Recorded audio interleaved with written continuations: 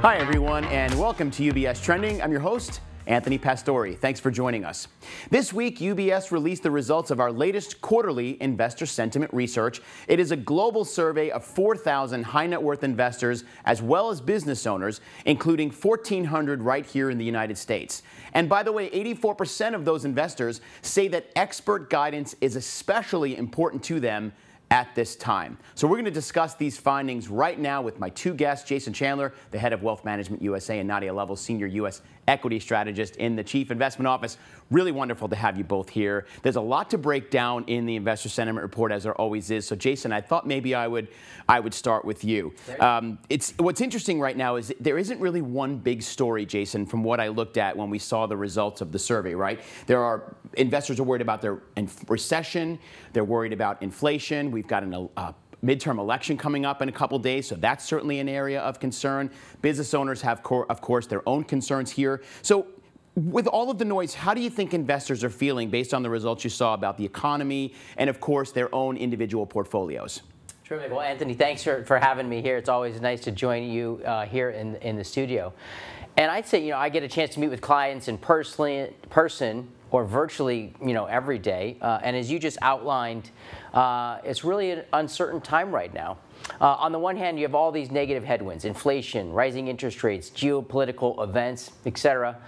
But what's really coming through all this is a growing fear of recession. Uh, we see a little nervousness as investors anticipate the pace of the Fed's rate hikes in the upcoming meetings. And most recently, the Commerce Department reported last week that the economy actually grew during the quarter, but 63% of investors feel like we're in a recession or will be in one by the end of the year. Uh, we're also seeing business owners start to, to really hunker down. Two thirds feel optimistic about their business, but a lot more are feeling a little bit more neutral about the, the outlook. And when we ask them, six in 10 business owners plan to keep hiring investing the same level for next year rather than expanding or increasing headcount. Right. So definitely seeing some caution. Uh, and to your point earlier, you know, it, it, investors need advice, and right. many more are seeking it. Right, because it's not the whole story, is it? They're actually, I mean, certainly 63% of uh, respondents expecting a recession. I'm not sure that's as much of a surprise as we talk about this quite often, but there is some optimism in the report as well, Jason. So maybe you could point out some of those, because it's not all doom and gloom.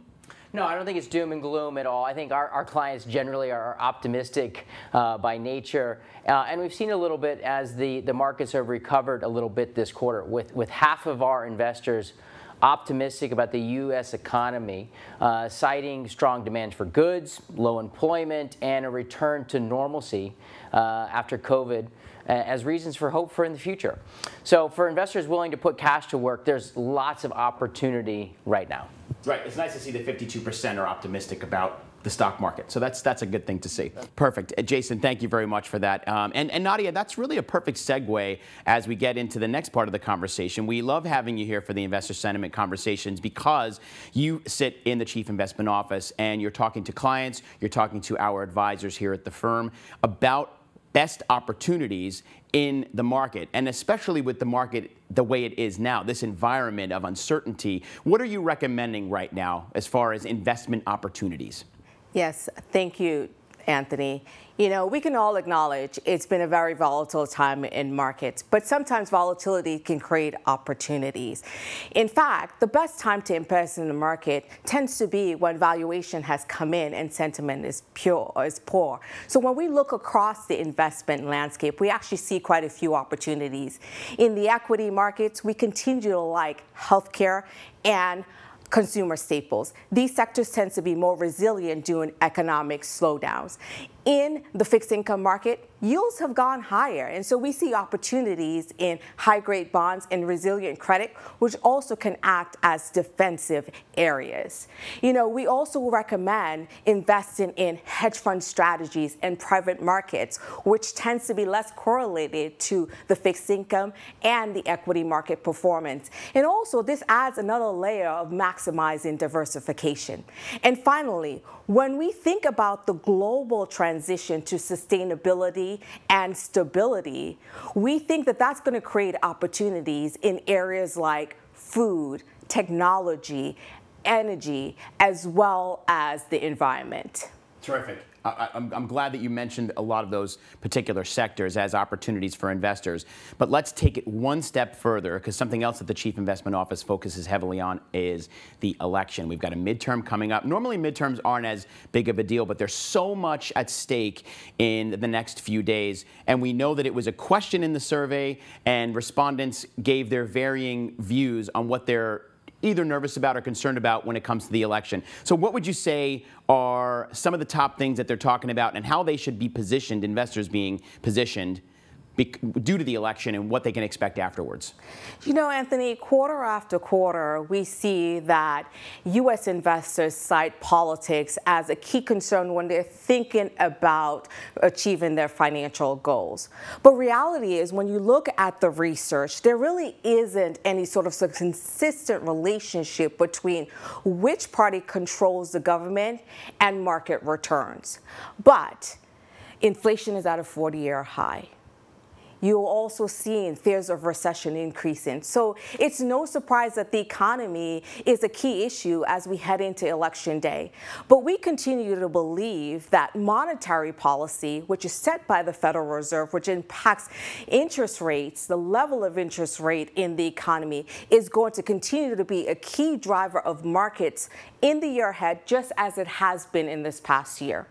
But Anthony, one thing that's a bit concerning, though, is that in our sentiment survey, four out of 10 investors say that they would raise cash if interest rates increase significantly. Now, of course, the return on cash is going to increase along with rates. But reality is inflation is high, and so the true value of that cash is going to be eroded. So we are not recommending high cash positions right now because we still see opportunities in the fixed income market, in the equity markets, as well as in alternative investments. Terrific. Yeah, put that cash to work. Absolutely. That's the really that's the that's the lesson here. And we could see it time and time again. If you look historically, every time if you just stayed in cash, you missed major opportunities in the markets. And especially as you mentioned, Nadia, inflation is nothing to be sneezing at these days. It's, it's very, very apparent that it could impact your overall cash position's value over time. Absolutely. Terrific. Grows that value. Exactly. Nadia and Jason, thank you so much. Um, it's always great to digest the report. There's a lot more in the actual report, everybody, so make sure to check it out. But again, let me thank Nadia Lovell, Jason Chandler for being in the studio with us. Thank Good you. to see both of you. Great. And for more information and to access that full report, which I would recommend you should do, visit the website ubs.com forward slash investor hyphen sentiment and make sure to follow UBS on social media. We've got Platforms like Facebook, LinkedIn, Instagram, and Twitter, where you can find our content, plus all of our past UBS trending episodes are available on demand on our website, ubs.com/studios and on the UBS YouTube channel. And don't forget, if you have any specific questions about how this report impacts you or how you want to think about your portfolio positioning, make sure to contact a UBS financial advisor. Thanks for joining us, everybody. Until next time, I'm Anthony Pastore. We hope you have a great day, and remember to keep your eyes on what's trending. We'll see you soon.